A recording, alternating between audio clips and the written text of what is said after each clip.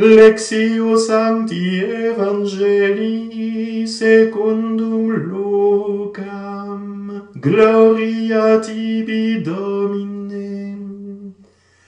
Postquam impletis sunt dies purgationis eorum secundum legem Moisis, tulerunt Iesum parentes eius in Hierosolimam, ut sisterent Domino, sic ut scriptum est in lege Domini. Omne masculinum ad aperiens vulvam sanctum Domino vocabintur, et ut darent ostiam secundum quod dictum est in lege Domini partutum aut duos pullos calumbarum. Et enceomo erat in Jerusalem, cui nomen Simeon, et homo iste justus et timoratus, expectans consolationem Israel, et Spiritus Sanctus erat super eum, et responsum acceperatam Spiritu Sancto, non visurum se mortem, nisi prius videret Christum Domini.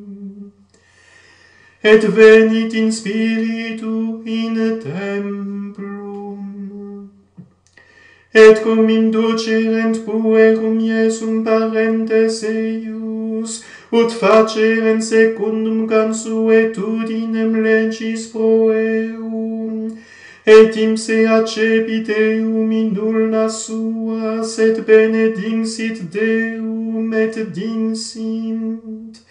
Nunc diminti servum tuum Domine secundum verbum tuum in pancem, quia viderunt oculi mei salutare tuum, quod parasti ante faciem omnium populorum, lumen ad revelationem gentium, et gloriam plebis tue Israel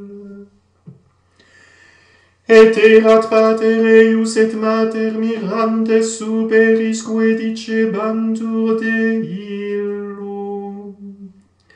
Et benedinsit illis Simeon, et dingsit ad Maria matre meius, et cepositus est inc in ruinam et resurrectionem multorum in Israel, et insignium cui contradicetur, et tuam ipsius animam per transiet gladius, ut revelentur ex multis cordibus cogitationes.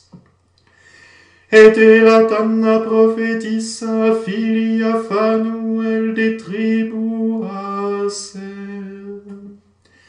et processerat in diebus multis et vincerat cum viro suo anni septema virginitate sua. Et ec vidu ausque ad annus octoginta quantuor, quae non discedebat de templu, iunis et obsecrationibus serviens nocte ac die et etim saura superveniens canfite batur Deo, et loque batur de illo omnibus cui expectabant redem Sionem Hierosalem. Et ut perfecerunt omnia secundum legem Dominim, reversi sunt in Galilea min civitatem suam Nazareth.